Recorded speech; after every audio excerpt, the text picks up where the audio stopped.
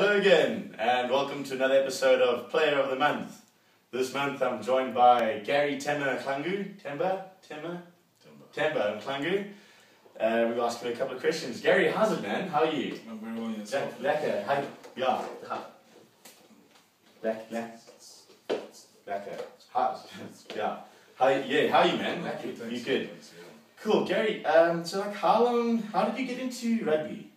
Um, I actually started boarding school there. Coming from Mhm. Joburg, went to boarding school. Grahamstown, and it's one of the compulsory sports, uh, so I was forced to play it. Forced wasn't my choice. Yeah. Just tough, tough times, tough times.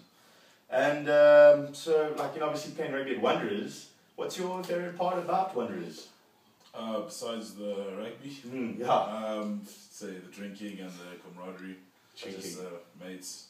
It's, Yeah. it's cool to play rugby with your mates. exactly. Yeah. No, definitely love the drinking. And um, and so obviously Wanderers, you've moved around a bit. You're a bit of the Swiss Army knife of the Wanderers forward pack. What positions have you played so far? Um, had a stint at hooker, Yeah, uh, then I went to loose forward. yeah. Uh, played a bit on the prop, which wasn't for me. Then Mm. um, back at hooker now. Back at hooker, eh? That's right. Great. And now, also during your time at Wanderers, um, you did a spot of acting. Tell us about uh, your stint as John Coffey in The Green Mile. How was it uh, acting with Tom Hanks? I never acted with Tom Hanks. I, You- I wasn't, wasn't another black guy. Another black. So you're telling me now, if like my ankle was sore or something, you couldn't get the bees to out your mouth and make me heal. No, I can't do that. I'd probably put ice on it. That might help, but that's as far as I can go. Okay, well that's disappointing.